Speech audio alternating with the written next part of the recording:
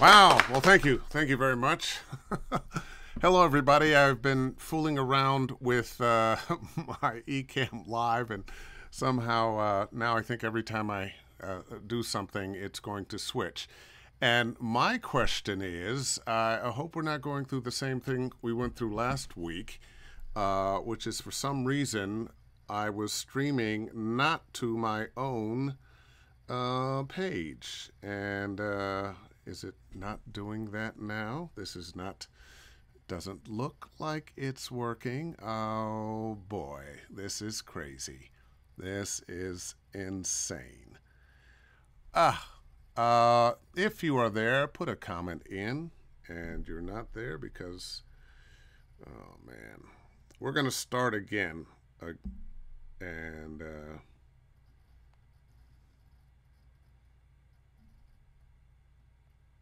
Oh, it is going. Fantastic. Uh, well, for some reason, I'm not seeing any comments, but uh, looks like uh, we are here.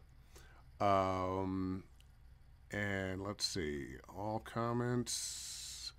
I don't know why the comments aren't showing up, but uh, well, we'll just go. Anyway, Dave Fennoy here. Welcome to another kind of discombobulated Ask Dave Fennoy Anything. Uh, had technical difficulties last week, couldn't broadcast at all. Apparently, I am broadcasting now. Uh, just sans uh, comments, which of course uh, I don't like. That's part of why we're doing it here. Um, and let's see if I put a comment in.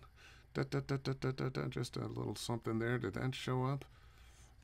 Uh, anyway, uh, so I know it's it's going out and wow, that comment showed up. That comment showed up. Maybe I'm the only one that can make comments uh, for myself. Anyway, uh, moving on. Um, I've got a guest today who uh, hails from Dallas and uh, specializes uh, in anime and cartoons and video games. And I am going to bring her right on now. Ladies and gentlemen, Miss Morgan Berry. How are you? Hi, and I'm doing good. Thank you. oh, there you go. Me. There's go. no, now I can't hear. Uh, I have a. I don't know why my uh, Ecamm Live. I don't think it's broadcasting, but it is recording. Uh, okay. so people will be able to get the playback, and it, it will be uh, on YouTube later on. So, Morgan, it's just you and I. Uh, All right. So, I've got a lot of questions for you now. I have noticed you in my Facebook feed uh, for a while, and the business has gotten big enough that uh, you can't keep track of everybody. When I got into this business back in 1990 uh, in Los Angeles, um, there were a handful of people who were making their living doing voiceover. When I mean a handful, maybe maybe 100, 200 in LA. Uh, now I'm sure it's three or four thousand in LA and then across the country because uh, the internet has made everything accessible. So uh, if someone were to ask me today, do I need to move to Los Angeles? I'd say no. But you didn't start here. How did you get started in this biz? I got started in Texas. Uh, I've been acting for about 17 years now, um, and I started both on stage and a little bit of on camera.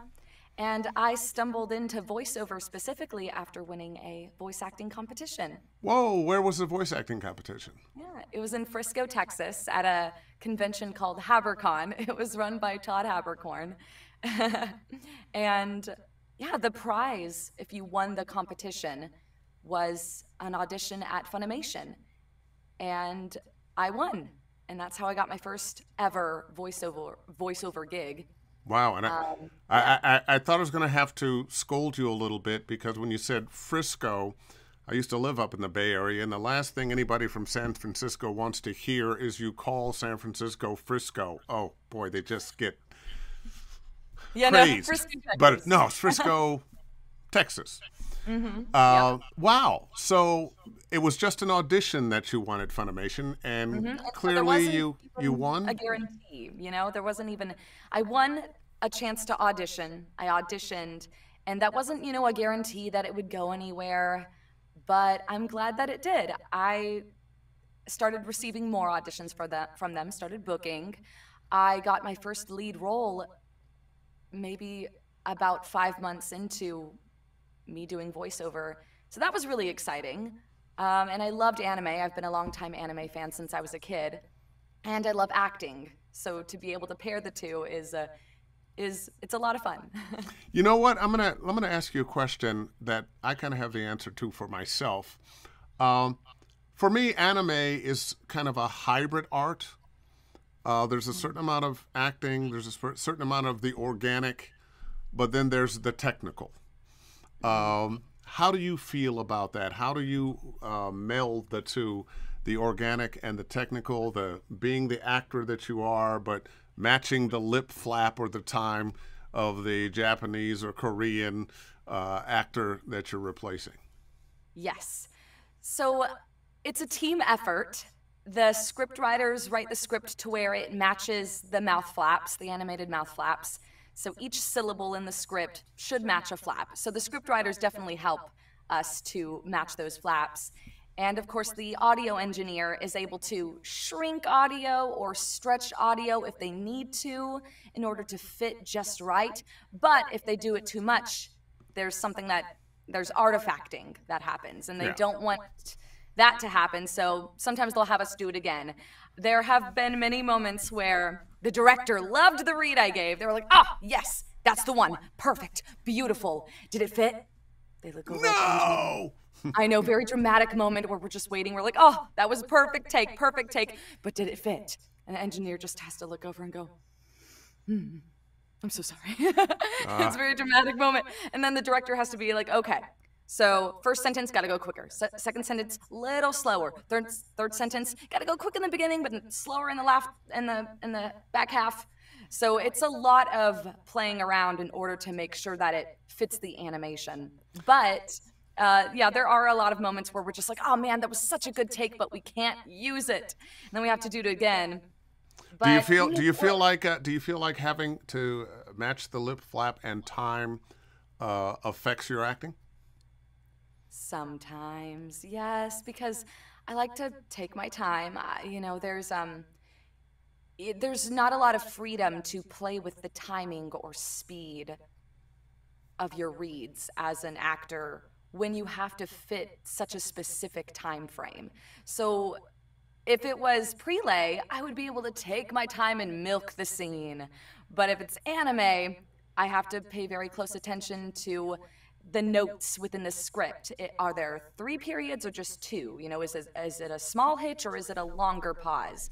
I have to know exactly how long I'm supposed to pause in between certain sentences. Yeah, every detail matters. Uh, you know, it's interesting. Uh, I had a gig. Uh, was that this week or last week? It's all such a blur. I can't remember. Uh, but it was uh, a kind of an anime thing. I don't. Is it okay that uh, I'm calling it anime, but this was Korean as opposed to Japanese? Um, um, maybe there's another term when it's Korean, but eh, it felt like anime. Uh, but one of the biggest issues, I think, is uh, how many words it takes to say something in one language uh, and another. And uh, you find uh, the writer sometimes, uh, you've said what you've got to say, and you've got another second or two, or you've said what you've got to say, and you're over by a second or two. Uh, it has to be one of the most difficult jobs to rewrite uh, translate something from Japanese or Korean, and nowadays, because of so many shows around the world that are becoming hits and and our hunger for uh, various forms of entertainment, uh, all kinds of languages are being translated into all kinds of languages. Yep, it's pretty incredible. Yeah. So listen, uh, I I see. I could tell. You know, when you you came on, I said, "Oh man, she." She's got one of those new booths. Uh, she's, got, yeah, she's nice. got studio bricks. I'm still stuck with my old whisper room. I've had that thing. I bought it used and I've had it for 10 years. Uh, how, how, long have you had your, your studio bricks? Ooh, um, I think about six months. Oh, okay, okay. Uh, and uh, by the way, uh, for those who are listening, whenever you get a chance to listen, um, you don't get a whisper room, a studio bricks, a vocal booth until you really are doing this career. Uh, as with any other business, you should invest in your career. You know, first it's coming out of your pocket, but let your business buy your booth. And it says to me, Morgan, that you've been doing very well. Uh, that you could uh, purchase at booth, but let's let's talk a little bit about uh, the rest of your equipment. What kind of microphone is that in the in the this is a TLM 103 Neumann microphone. Oh, okay. And I love it. It's my favorite. And the thing is, um, they use these at Funimation, and it's a lot of the times when I I get uh, an an audition through my email, the specs will say we want we want a TLM 103 Neumann or similar to that quality. We want you to have this kind of mic or similar. And so I was like, well, that's perfect. I already have that one. So. It works well, you, oh, you, know what? That is one of the most popular mics in the world. And uh, when people talk about microphones, I know the entry level microphones, the Rode NT1. Uh, I'm a fan of the SE 2200A, and, there, and there's some other uh, really good ones that are in that three, four hundred dollar range, mm-hmm. Uh, and sometimes a little less. Uh, but that microphone uh, is one of the best in the world. Uh, I would choose it over a U87. Uh, it's more versatile. The U87 wonderful mic has the same capsule, in fact, but um, the U87 lights a big room, and if you try to put it in a, a small booth, it it just doesn't give you what you think it should give you. That mic, Ah, works every time. Yeah, I've got uh, I've got one in my booth. I usually use my 416. I think because I came out of uh, uh, doing mostly promos and commercials mm-hmm. first, uh, and I I know how to use it. But uh, that's not a bad mic. So what's your interface? An Apollo Twin. oh, I'm in the Apollo uh, family too. It, was this your first interface, or or uh, what did you have before? No, I actually started with a Focusrite 2i2. Yeah, yeah. Yeah. It, it's interesting because I tell people getting in the business when they're trying to put their studios together uh, that the first thing they should get, they should look toward uh, uh, the, the, the UA Apollo family, but start with the Focusrite. It's, it's yes. a good deal for the money and it's a really good little interface. Mm-hmm. So, uh, what kind what kind of plugins and whatnot do you use? What what what's your chain like? You know, I don't use any plugins actually. I just kind of I don't know. I try to keep it simple and I send all of my audio raw, so I don't really I mean, that's what they requested a lot of the times. They want the audio to be raw, and so I don't really add anything to it. I'm just like, here you go. yeah. So, how long have you had a home studio? Ooh, um, since I started doing voiceover, so about eight years now. About eight years now. So actually, now, you know what? I did singing before, so longer than that, maybe ten years, because I was a, a singer mainly before I started voiceover. So about ten years now, I'd say. And, and how tech savvy are you? Mm, enough. oh, I know the feeling. Uh, a, a, lot of people, uh, it's one of the toughest things now to get into the business. When I got in uh, in 1990, the home studio was just for some wealthy musicians. Um, and you went to your agents to audition, you went to somebody's studio to work. Um, now, fairly quickly, because I was doing TV promos, uh, I ended up with a home studio because of ISDN, which they've announced now that next year it's going bye bye. Um, yeah, ISDN is about to become a thing of the past. Uh, what the phone companies have been doing is when somebody was in the ISDN crew, when they retired, they didn't replace them. Uh, and the prices to have ISDN now have just gone up and up and up. I left it about a year and a half ago, maybe two years ago, when I got a monthly bill that went from 150 bucks a month to 800 bucks a month, and I went, you know what? Uh, I think Source Connect, Connection Open, uh, ipDTL, uh, I'll just go with that. yeah. What? What? 800? 800. So, so what's your connection to the world? Um, Source Connect. Yeah. Yeah. Yeah. I've okay. been using that for everything, all of my sessions, and not even Source Connect Standard. I've been they've been asking for Source Connect Now, which is free. So that's what I've been using for a year and a half now. Well, I keep seeing though that uh, often with the Source Connect now, Mm. I've seen I've seen where they say no, we don't want that. We want the Mm-hmm. standard. So you you might have to upgrade. Oh yeah, and I'm ready for that when that time comes. But for a lot of the anime and video games, they've they've been okay with Source Connect now, and and I was like, oh, okay, cool. And of course, it's not perfect. Source Connect now, every once in a while, there's an audio blip, and we have to re-record some of the takes. But overall, it's it's been working for us, so that's good. So now you started your career in Dallas. You got that audition. What won that audition? Uh, that was your prize. I've got an audition at Funimation. So did you did you book that? I um not the first audition that I booked with Funimation. I think it ended up being the second one though. And I my first gig ever at Funimation was additional voices for Fairy Tail, which was one of my favorite anime shows. So that was that was cool. And then I booked my first my first named role uh, as Linda in Hyperdimension Neptunia, the animation. And then my first lead role as Tokaku Azuma in Riddle Story of Devil. Uh, And wait, say that was- name again. Say that name again. Riddle Story of Devil. No, no, no, the character. Oh, uh, Tokaku Azuma. Okay, five times as fast as you can. No, kidding, kidding, kidding. uh, that's one thing about anime are those Japanese names, and but it's it's huge, it's huge, it's huge. Now, one of the things I've noticed about anime, it doesn't tend to pay as much as animation, but there is a plus side, and uh, that's conventions. Yep, yes it is. That's what uh that's what pays the bills is the convention appearances because anime doesn't pay well and funny enough, union anime for the longest time paid less than non-union anime. What? Yep. Wow! Wow! Wow! Wow! Yep. I've done a fair amount of anime, but it, I've done union anime that apparently uh, they didn't know about the cheap contracts. Um, uh, uh, Bayonetta. I play Rodin in Bayonetta, and uh, they made it into a movie and, and, and, and that kind of thing. So that actually has uh, been very, very good to me. But Nice. uh, but what what happened with this last year, and the conventions were gone? How how did that affect you financially?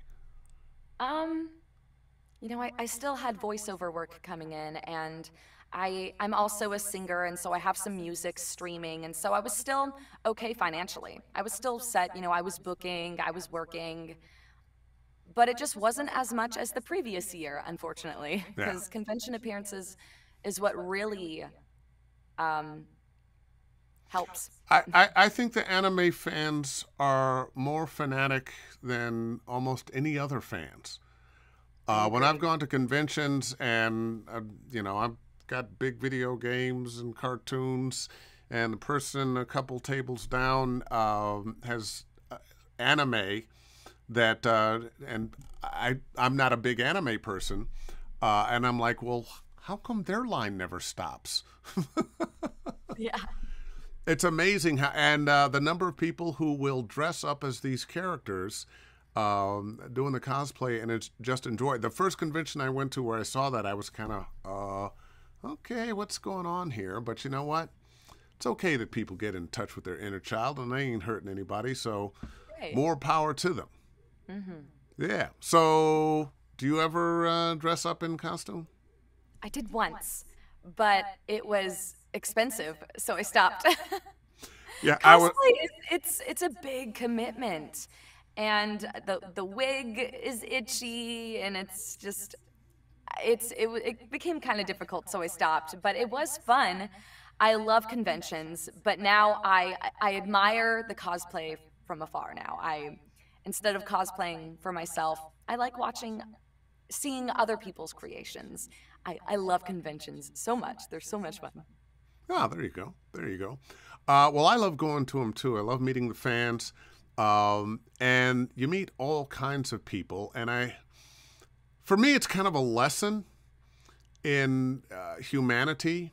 Uh, a long time ago, I was uh, being a booth announcer and I, I met some of my heroes uh, from bands and actors and whatnot. And uh, turns out some of my heroes weren't the one, most wonderful people in the world. It was a big lesson to me that uh, if somebody comes to spend a little time to meet you, greet you, say hello, let you know how much your work meant to them, uh, they at least deserve a smile.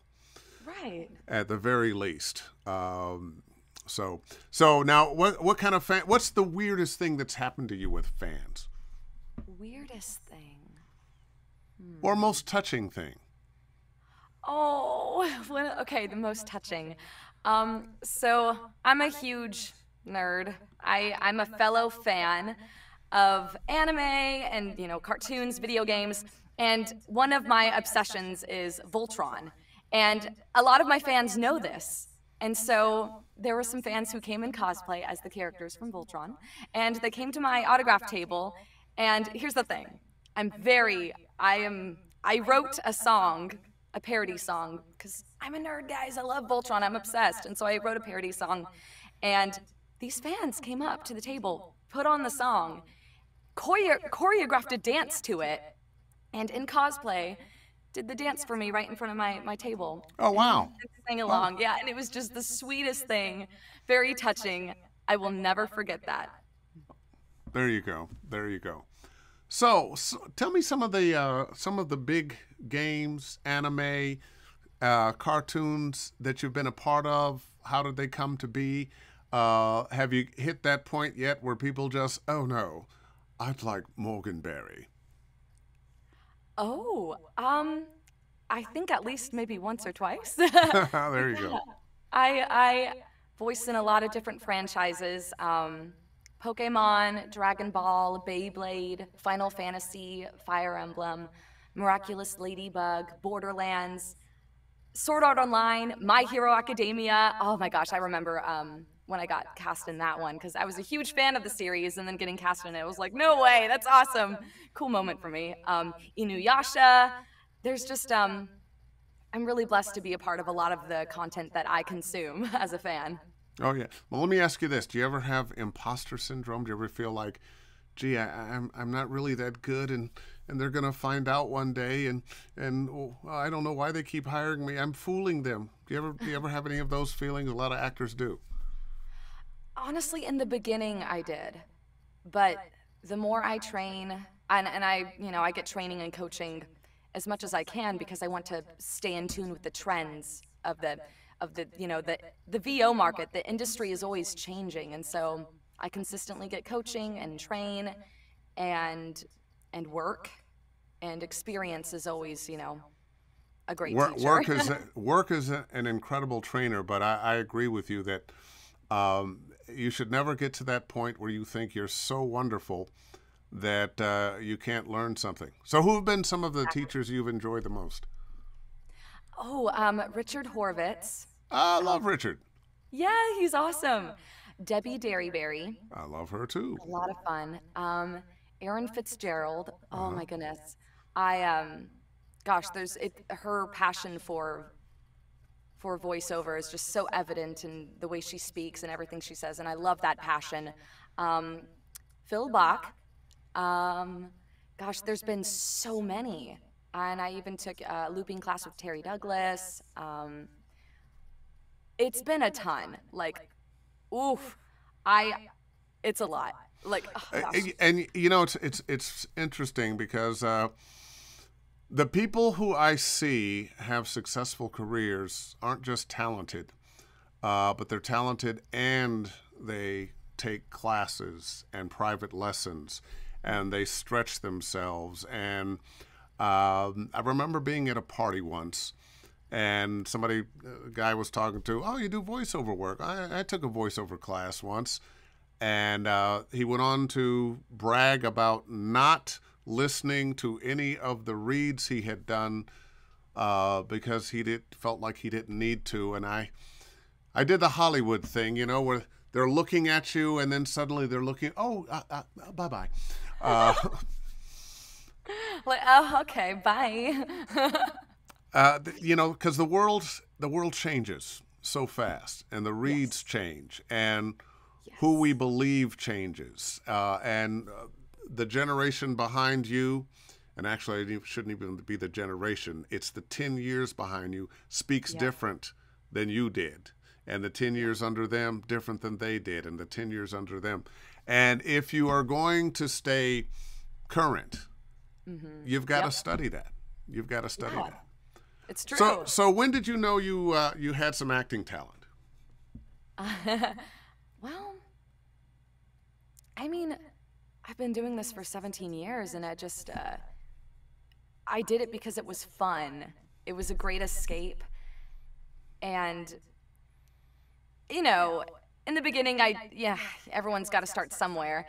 And sometimes the theater teacher has their favorites. So I, you know, yeah, you know how it is, right? And, you know, middle, middle school, um, things were good. And then high school came around and ensemble, ensemble. I'm like, okay, you're casting the same people as the leads over and over again. That's getting a little boring, you know, but what can you do? They have their favorites. And so, you know, I did what I could, but, you know, when that kept going on, I was just like, you know what? I'm going to branch out outside of my school's theater department. And so I did. And that's when I really started um, taking off um, on stage. I booked leads and here and there, and way more than I did when I was in my school's theater department because so in your school's theater department uh, any of those people that uh, were booking all those leads are they do you know of them working now i know of one of them and i've seen him book every once in a while voiceover um, with voiceover roles but other than that no. Not seeing him on television or movies. No, I'm not seeing any of them on television. Ah, success is the best revenge. It's true. so now, if what would be the ultimate job for you right now? If you could just play any character, be a part of any, uh, and you've been a part of some really uh, great properties, what uh, would really do you want to sink your teeth into? Ooh, I mean, I, in all honesty, when I booked Pokemon, I was just like, because I love Pokemon. That's been my dream since I was a kid, my my first love, you know. And so when I booked booked that, I was just like, I'm set for life, not financially, but set for life. You know, my heart made my heart happy. But um, so if I were to think of a specific title that I would like to be a part of now, one that I'm not already in, I would say Voltron, but that okay. series ended unfortunately. So maybe well, you know what? Uh, what's old becomes new again. Yeah, Wouldn't yeah. be surprised if Voltron. I'm surprised uh, at the number of uh, Spider Mans we've had and Supermans that we've had. That's true. You know, they keep coming back. uh, so, and and you've had some work in the Marvel universe. Speaking of yes. superheroes, wh- who did you play? I voiced for Silver Sable in Marvel Avengers Academy. And um, yeah, that was an interesting. Um, an interesting gig because I did not think I would book it. I really didn't. But sometimes that happens. You you do your best and you're like, well, let, well I'm not gonna. You know, you really think to yourself, I'm not gonna get it, but at least I tried. And then you get it, and it's just mind blowing. And that that was definitely an imposter syndrome moment for me. I was just like, nah. No. Well, you know, the the world often looks at you differently than you look at yourself, and sometimes you have to come to the realization that the world likes you better than you think they do. Uh, the world the world recognizes a talent that perhaps you didn't recognize in yourself. You, you recognize it somewhat, but you know we we get kind of used to ourselves. You know, we don't think we're as, as good looking as as we may be, as the world may see us, because we look in, oh, there I am again. Yeah, me in the mirror. Right. Uh, there it is. uh, and the world can look at us differently. Um, so, what do you do with social media? What uh, what platforms are you on? How do you use them, and how do they work for you? I'm on Twitter, Instagram, and Facebook. and it's um, at the Morgan Berry on all of those platforms. The Morgan Berry. And Was there another Morgan Berry out there that you had to get beyond? Well, funny enough, yeah, there there's so many Morgan Berries out there. Apparently, it's a very common name, and so Morgan Berry was taken, and official Morgan Berry was too long. So I was like, okay, the Morgan Berry works, but also it's it's also a play on words. The Morgan Berry. If you say it differently, just slightly, the Morgan Berry. I'm not a strawberry. I'm a Morgan Berry. Oh, Hey. okay. And and I also notice Morgan Raspberry. Oh yeah, I, I use that on Facebook to avoid avoid uh, friend requests from people I don't know. ah, there you go. There you go. Which happens all the time. It's it's funny. Um, I, my Facebook is mostly for other voiceover people and friends and family, uh, but sometimes you end up with mm, people there that you really don't want to have on there. Exactly. There are some people I need to avoid, so I kind of do that on Facebook so I can stay away from that crazy side of Facebook. You know, you know, it's funny, and I, I don't know why I just thought of this. Um, there are people who uh, try to get to you on Facebook, uh, and, and as a guy, it it's probably not nearly as um, disturbing. Uh, but I imagine as an attractive woman, there are people out there that get obsessed and so forth. And uh, hi, Morgan, how are you? I I love your work, and uh, I was hoping I could take you to th- th- those kinds of things. Do you run into that? hmm I I have a story. I don't know if it's inappropriate for Oh, no. this Dish. video, but um, I was on Instagram. Someone slid in my DMs, and you know what? They were really nice. Now, here's the thing about Instagram DMs: they don't see that you've seen the message unless you respond, unless you give them that permission. And so this guy, he was really sweet. He was like, "Hey, I'm a huge fan of your work. I love your your voice and such and such." He was very sweet, and so I wanted to thank him. So I just responded. Normally, I would just ignore a message, but he, it was really sweet message, and so I responded and said, "Thank you. I really appreciate that." You know. And then, once you message once, that's when it opens up the chat for them to continue to message you. So he took that opportunity. The next day, he said, "Hey, so I've never asked a celebrity this, but can I see your feet?" Can you can you send me pictures? Can you send me pictures of your feet? And I was just like, oh, we're done. So I blocked him right then and there. Uh, so, are your feet uh, particularly spectacular? Nah, I think they're average. okay. Oh, it takes all kinds to make the world go round. Um, oh, I had another question for you, and I can't remember. So, if you were going to do anything different in your career now, what's the one thing you you'd, you'd change uh, about where you are and what you're doing? Ooh. One thing I would change. Hmm. Take more risks, I guess. Ah, and what what kind of risks would you take Um, in your auditions? Uh, my auditions, yeah. And even just auditioning. There there are some roles that now when I look back on it, I think to myself, oh, I should have just gone for it. I think I I, I probably could have done a better job than I thought at that time. There were th- some uh, roles I didn't audition for because I thought to myself, oh, no, I can't do that. No, they're not gonna, no. You know, it's But- funny. Uh, there are a few roles like that that I didn't audition for. I'm saying, oh, you know, I'm I'm more an adventure voice. I don't do as much zany, wacky comedy. Um, but I'll I'll give it the old college try and booked them and booked several of those. Uh, Right. So sometimes you just don't know. Sometimes uh, you just have to give yourself to it Right. um, and and let it go. Let me ask you this: Have you been haunted by any auditions that you really, really let yourself want and didn't get? Ooh, you know, it's funny. I'm sure years ago I would have been able to tell you uh, some of those roles that I really wanted that I didn't get, but I've gotten, I've kind of trained myself to forget. And so I can't think of any right now. I, I had to train myself to not grow attached to these characters because it'll kill you, you know? It, oh, and I don't want it to strip me away. I don't want it to, to strip away my happiness when I don't book something. So I've kind of had to train myself over the past few years to audition and forget.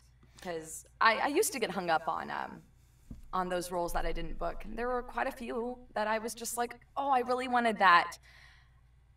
But yeah, it's the, just the job. We audition and hope we book. Uh, you know, it's funny when I'm I'm talking to uh, civilian friends of mine, uh, and you know, casual conversation. Oh, so what are you doing? Oh, yeah, working on an audition. Da, da, da, blah blah blah. And uh, then you'll talk to them a week or two. So, how'd the audition go? And I'm like, uh, which audition? We were talking last week. You had an audition. Oh, uh, I have a standard answer now. If I book it, it went great. Uh, but that's just a little bit of of what we have to do to maintain sanity. Yes. Uh, and live in the things we did book, li- live in our successes as opposed to those things we wanted. Somebody else got it. I could have been on that part. I could have been in that cartoon, and ah, because uh, that that's that's a one way street to misery land. Yes, it is. Yep. So, if you had a message for uh, somebody knocking on the voiceover doors now that wanted to, uh, uh, a, a, young Morgan Berry, um, what would you say to them? Oh, um, the business side of voiceover is important, but don't focus too much on it. Just have fun. This industry, you know, this art is fun. The industry itself can kind of eat you alive sometimes, but um, but just remember to have fun with it. How Don't how do, how is the industry eating you alive a little bit? What do you mean by that? Well, especially in the beginning. Um, there's always the like you know with imposter syndrome and auditioning and auditioning and letting it get to you when you don't book and but here's the thing everyone's got to start somewhere and that's that's show business baby you know you audition and when you book it's great but when you don't book sometimes you're you know wondering how am i going to afford rent and sometimes i in the beginning of my career i really let that get to me and it uh, you know started questioning questioning like like I feel like this is what I'm meant for, like, you know, and I love what I do, but what if what if it's not, you know? What if I'm wrong? You know, questioning myself. Do but, you still question um, yourself? No, I'm very confident in who I am and in what I do, and as long as I love what I do and am doing my damn best, that's all I can do. And, and as long as you're, you're booking. Now, I, you've, you've been at this a while. I've been doing this, this God, it's over 30 years now. Jeez. Um, and the one one of the things I've learned is uh, it's peaks and valleys. Yes. Uh, and you you can't every job you have somebody had before you and somebody will have after you, unless you're the first one to play that character. Um, and I know at one point, uh, I, I, remember 2008, the economy crashed. My two biggest clients went out of business. Um, I was upside down in my house. I borrowed a bunch of money to you know send kids to school and that kind of stuff. And uh, I had to sell my house, make no money, move into a condo for a little while. And I thought, well, maybe it's time to do something else.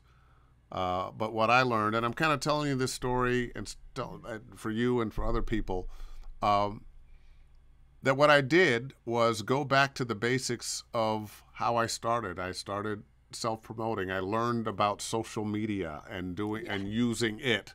Uh, and a lot of guys and gals in my age group who have been doing things for a long time expect the world not to change, but the change is the only constant.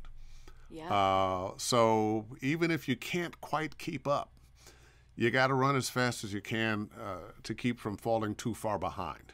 That's true. Yeah, The trends are always changing, and we got to keep up with them. Yeah. So, what are your hobbies? Ooh, hobbies. You know, I get this question a lot, and I'm a, I'll admit I'm a bit of a workaholic. I love work.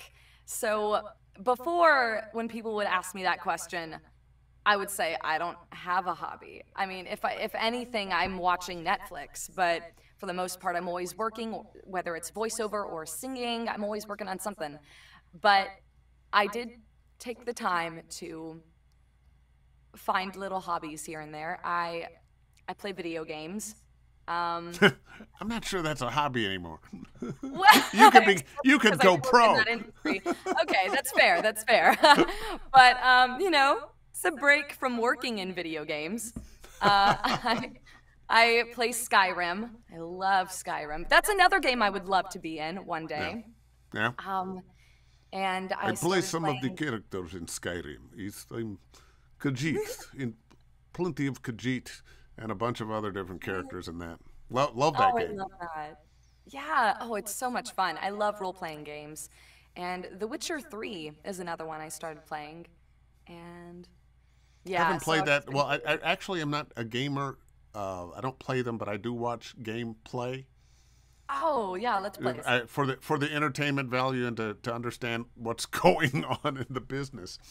Uh, but uh, wow, wow, wow, wow! I, I just don't have time to do that. So, uh, where do you want to be ten years from now?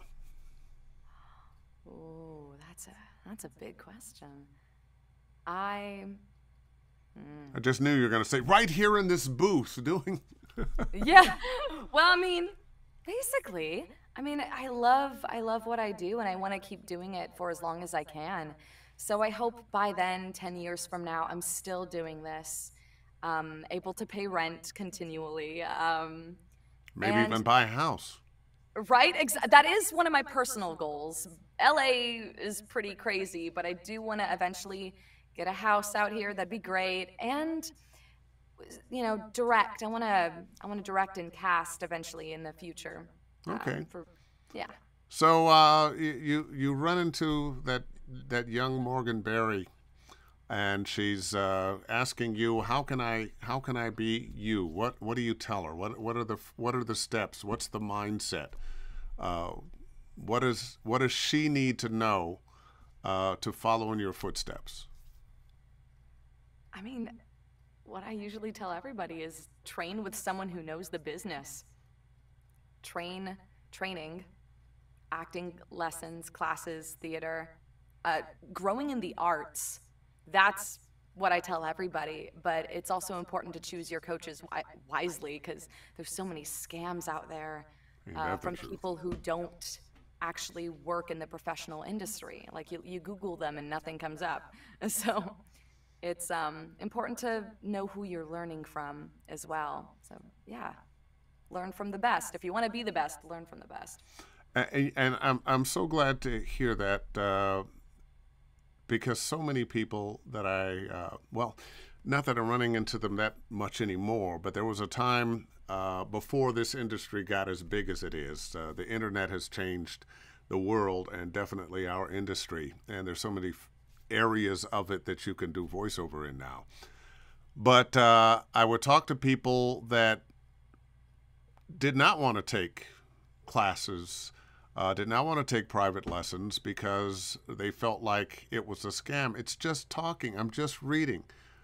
Um, and they felt like if I have a beautiful voice and I can come up with a song to sing while I'm doing that, that thing, that uh, somehow that is going to be what makes the difference for them. And it so is not um, you know, if you're going to be an actor, you got to be an actor.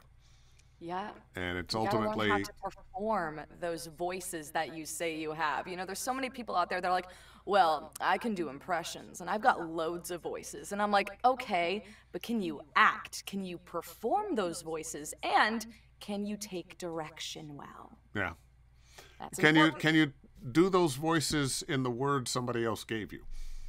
Mm. With the motivation somebody else gave that voice. Yep. That's a biggie. That's a biggie. Uh, give them different context, different location, different environment, keywords, and see what they can do with it. And if it's the same read every time. Uh, and I've I've had that student from time to time. Uh, no, say it like this, and there it is again, and there it is again, and there it is again. Uh, if you ran across a student like that, I know what I tell them. How would you tell somebody to?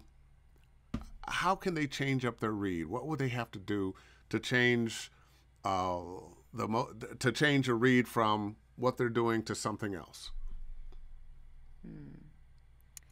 a lot of the times, I I like doing the ABCs. I say, hey, all right, give me an ABC. Give me three takes of that, and each take, same voice, different way to read it. There are so many different ways you could change up a read, whether it's change the emphasis that you put on a word, or change the speed of one sentence, uh, change the volume of one sentence maybe maybe this line you're not just talking to the person in front of you. Maybe another part of the line you're talking to yourself. Maybe you're whispering that part to yourself. And then the next part you say it out loud. There's so many different ways you could switch it up and add pre-life add you know ad lib add a little unscripted chuckle here and there if it fits the scene. There's so many different ways to make yourself stand out in that character. And yeah, I just um, so a lot of the times I'll give those suggestions and be like, hey, try doing this. Maybe change the speed here. Oh, maybe change your volume here. Change the emotion here because you know have a build in your anger over here. You know, you know just, it's, uh, it's interesting. You've given you've given me a mix of the technical and the organic, um, and uh, I, I tend to want to lean into the organic as opposed to the technical. Mm-hmm. Uh, and what I would usually say to people is change the scenario. This person Mm-hmm. you're talking to, how do you feel about them? Change how you feel about them. Uh, are you standing? Are you sitting? Are you moving? Uh, what's your what's inner dialogue? What are you thinking while you're saying this? Yeah. Uh, uh, changing all of those things Mm-hmm. without saying, "Oh, just say it a little faster, say it a little slower," and Right. Mm-hmm. and that that happens. Uh, Sometimes we especially are artists. in anime when you have to fit Oh, those boy. flaps. Uh, we are artists, but we are also technicians. Sometimes just a little faster, a little louder.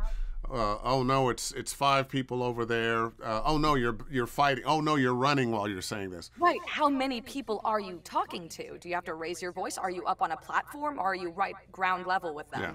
Every detail matters. Got to see the scene. Got to be in the scene.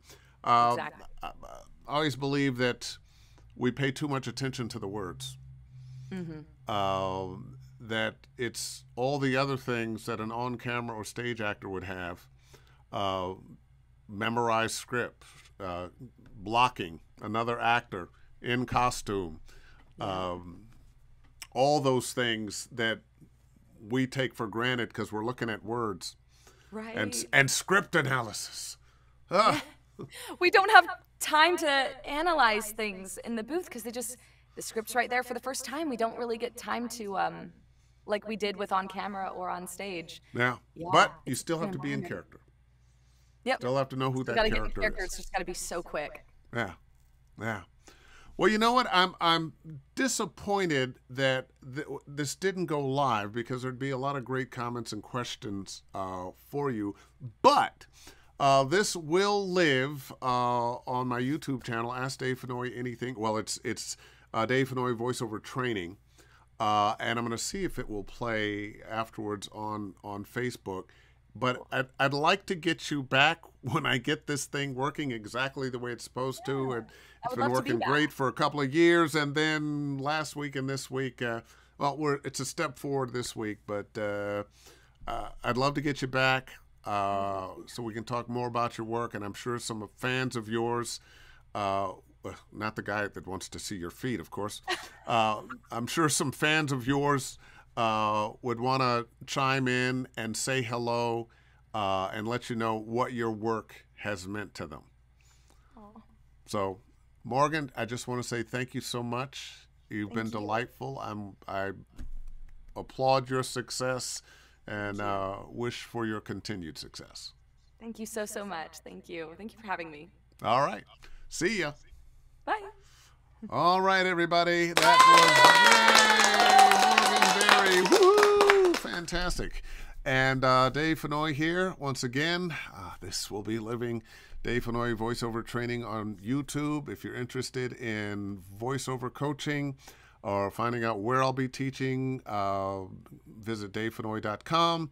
Sign up and you'll get uh, reminders about this, that, and the other. And in the meantime, book something. See ya.